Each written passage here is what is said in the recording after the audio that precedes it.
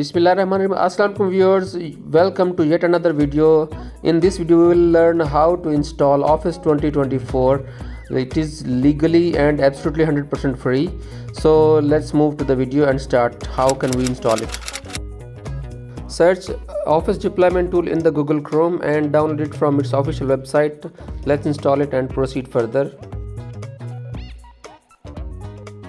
Right click on this setup and run it as an administrator. Accept the terms and conditions. Click continue and select the folder we have already created on the desktop and renamed it as Office 2024 and press OK. We have downloaded two files in this folder. One is of the setup and the other one is of the configuration which we don't need right now. We will export our own configuration by using the following method. Search for Office customization tool in Google Chrome and open its official website. Here we will create our own configuration file. Select the display option as 64-bit and the select from product select Office Professional 2024.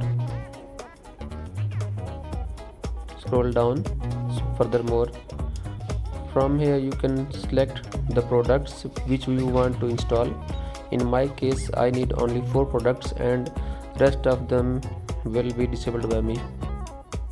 Select the language primary language as English and click next. Disable the automatic update option from here and click next.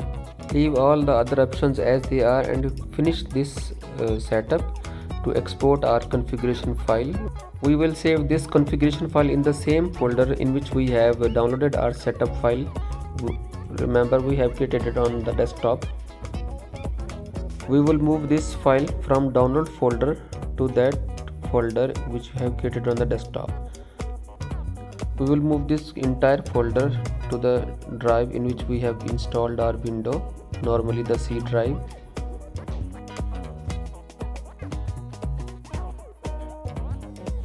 In the address bar we will click it and copy the address of this folder Click on the start menu, search for the command prompt and run it as administrator. Copy that folder address here. Now you are in this folder. Copy this command and paste it in the command prompt to run the setup file. Press enter. The setup will run and it will install the, all the apps we have selected earlier. So finally viewers, our Office 2024 has been installed completely.